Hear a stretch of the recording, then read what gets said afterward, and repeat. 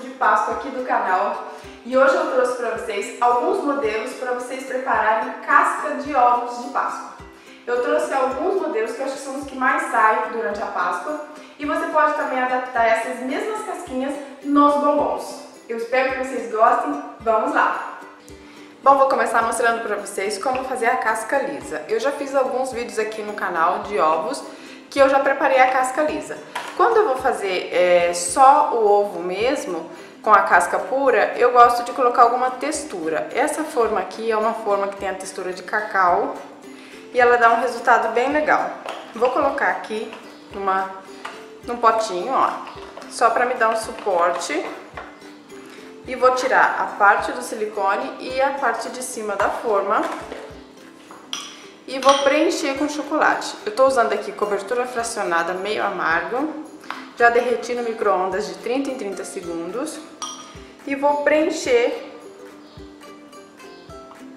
aqui a minha forma até a marquinha indicada.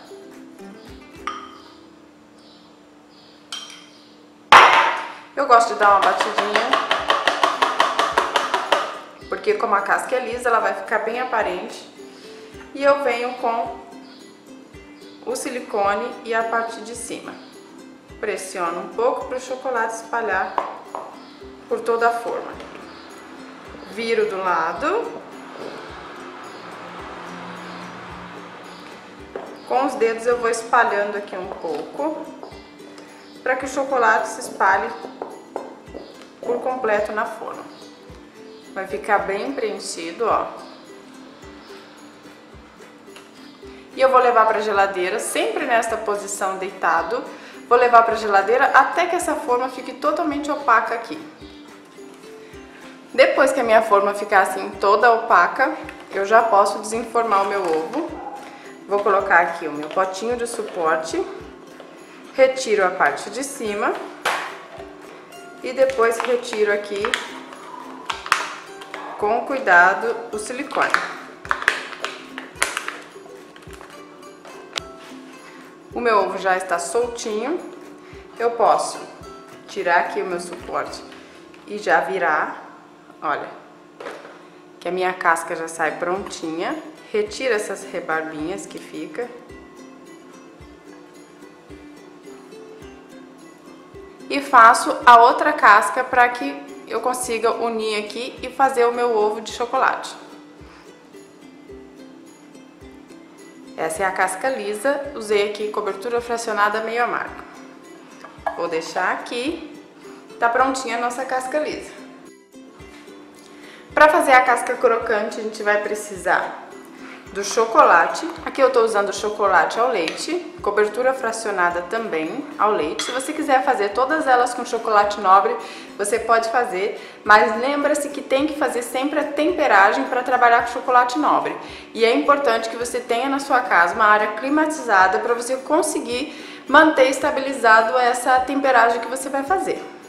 Eu aqui estou usando a cobertura fracionada, tenho, vou usar 100 gramas do chocolate e 30 gramas do crocante. Eu vou fazer aqui com essas medidas é, meia casca de um ovo de 250 gramas. Então eu vou colocar aqui o meu chocolate.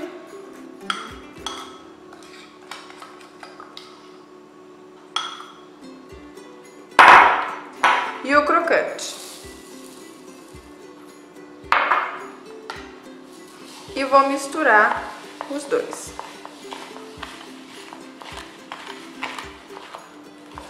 É bem simples fazer essa casca, ó.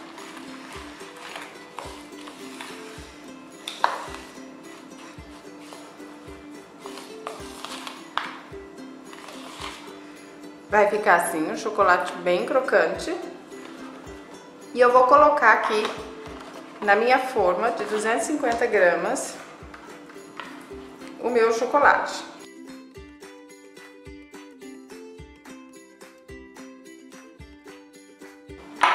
Vou espalhar aqui o meu chocolate por toda a minha forma.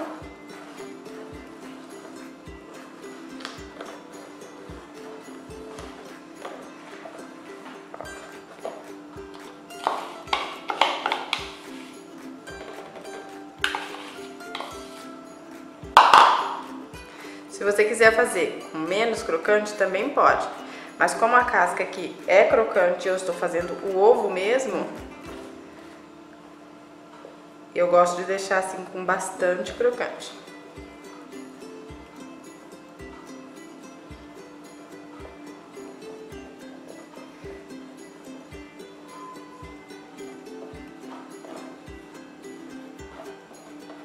Espalho aqui na minha forma toda.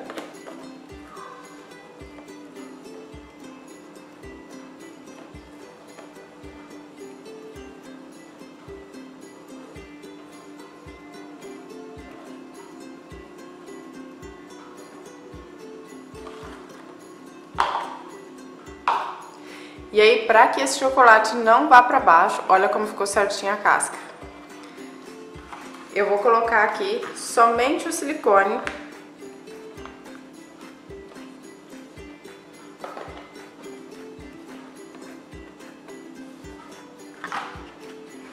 E a parte de cima, mas não vou pressionar muito, porque eu só quero que ela fique aqui. Eu não tô espalhando o chocolate, eu já espalhei. Eu só quero que ela se mantenha aqui, olha, para fazer a minha casca crocante. Para que não derreta o chocolate, para que o chocolate não caia para os lados ou, ou saia aqui da parte das laterais, a gente coloca essa parte assim. Vou dar uma batidinha para o chocolate ficar uniforme.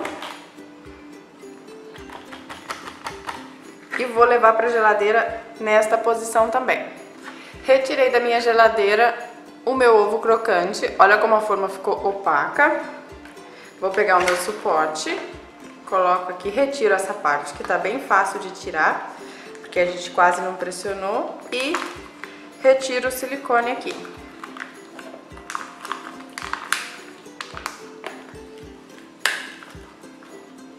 Tá prontinha a nossa casca. Vou virar. E ela já solta ficou lisinha. Para tirar essas rebarbinhas que ficou aqui, é só aquecer a forma e colocar ela assim um minutinho. Se você não tiver uma forma que você possa aquecer, não é queimar, gente, é aquecer bem levemente, só para que essa parte desse chocolate derreta e essa parte fique lisinha aqui de baixo. Essa daqui. Por causa do crocante, ela fica um pouco uniforme. Então, é só você colocar desta, deste jeito em cima da forma e retirar. Evita colocar as mãos no ovo e depois é só fechar as duas partes. Para fazer a casca-óleo eu vou precisar aqui de chocolate branco. Eu derreti aqui o meu, estou usando aqui cobertura fracionada. Se você quiser usar o chocolate nobre, a mesma coisa, precisa fazer a temperagem. Eu estou usando a cobertura fracionada e eu tenho aqui que eu já piquei quatro bolachinhas da Oreo. Eu retirei o, recheio e piquei as minhas bolachinhas. Tenho quatro bolachas e tenho aqui 150 gramas de chocolate. Esse, essa quantidade aqui eu vou fazer um ovo de 350 gramas, uma parte de 350 gramas. Tenho aqui o chocolate, é só misturar aqui a bolacha mistura bem.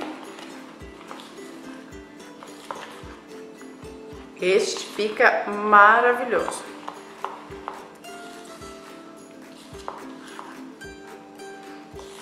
Misturei bem. Vou colocar aqui na minha forminha. Essa minha forma de 350 gramas, como eu já falei para vocês.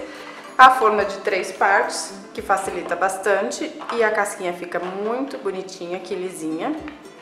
Vou pegar aqui o meu chocolate e vou colocar na minha forma. E o processo aqui é exatamente igual o ovo crocante. Eu vou dar uma espalhada nesse chocolate aqui em toda a minha casca. Como aqui eu tenho uma quantidade maior de chocolate do que do crocante, do óleo, é, ela tende a, a descer um pouquinho, mas ó, dá pra colocar em todo o ovo, espalha bem.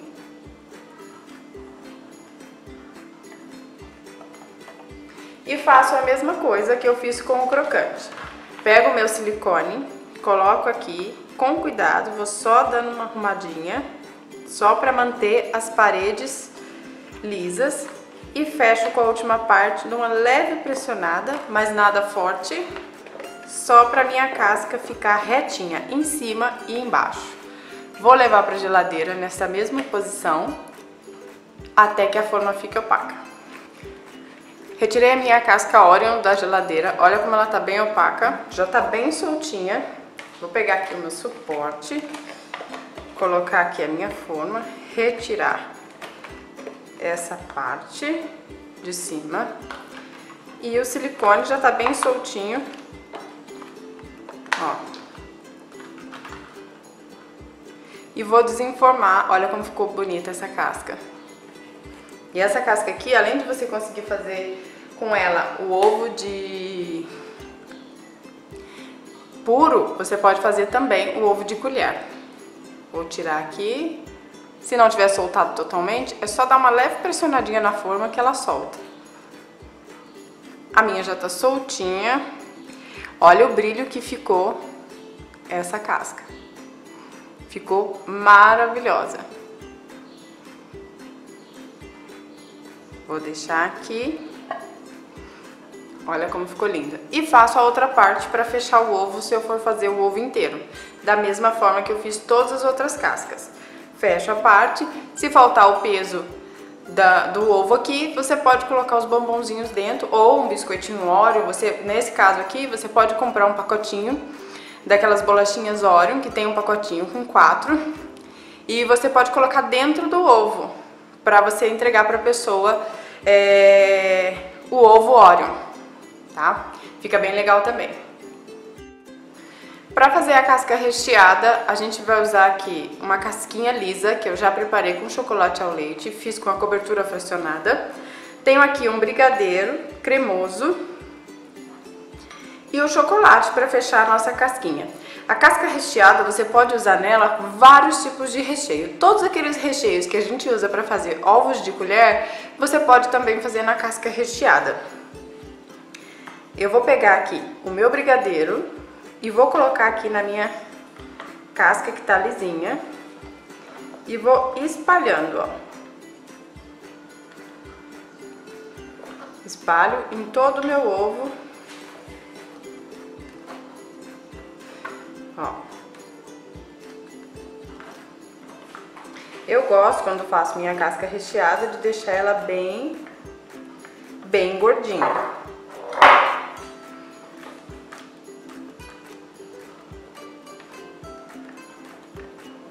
Passo em todo o meu ovo.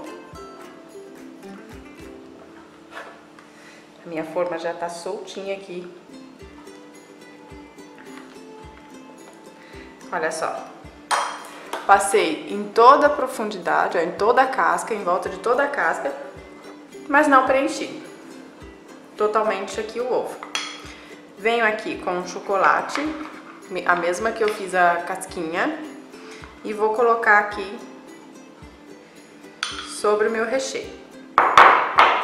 E venho espalhando para fechar a minha casca aqui.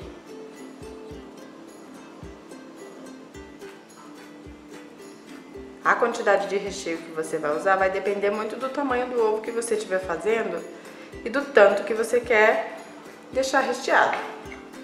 Porque o recheio também varia um pouco o peso. Depende de qual tipo de recheio você fizer, pode dar uma diferença no peso, né? Alguns recheios são mais pesados, outros mais leves.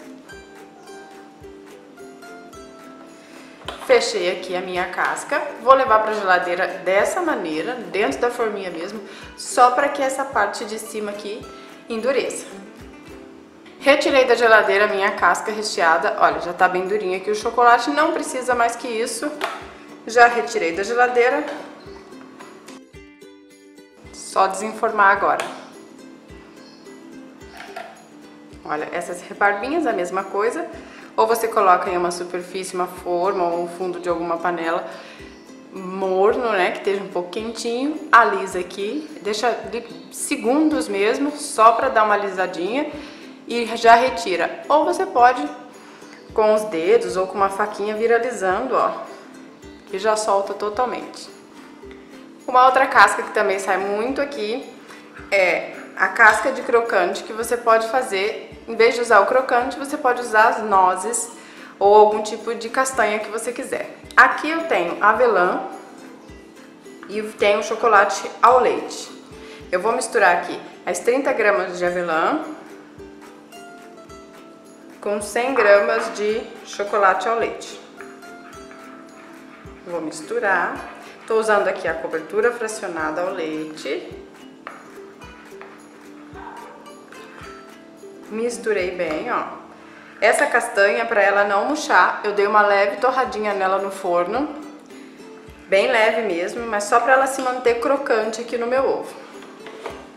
Vou deixar aqui, pego a minha casca, essa é a de 250 gramas, tiro as outras duas partes e vou preencher até a marquinha.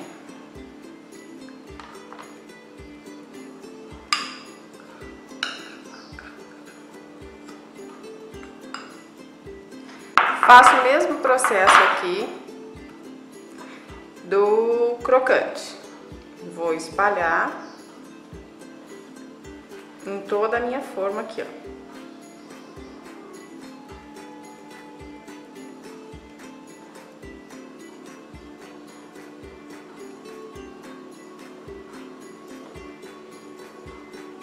Espalhei, como meu chocolate tá bem fluido aqui, Vou fazer o mesmo processo que fiz nas outras formas. Venho com a minha parte de silicone, sem apertar muito, só para acomodar as paredes da minha casca e fecho com a outra parte. Espalho aqui completamente, vejo se não tá nenhuma falha na minha casca e vou levar para geladeira nesta posição até que a forma fique opaca e o meu chocolate esteja solto da forma. Retirei a minha casca de crocante com avelãs da geladeira, tá totalmente opaca, já tá até bem solta. Vou retirar aqui a forma de cima, o silicone.